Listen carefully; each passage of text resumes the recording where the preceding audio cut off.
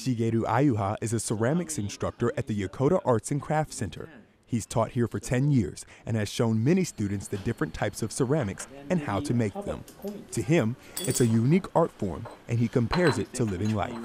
Whenever I decided to change life, then I found a way to get out or go on my life. It's kind of the same thing like when you're making ceramics.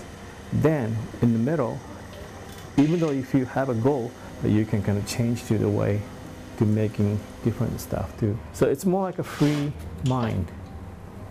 That's why uh, I like the ceramics.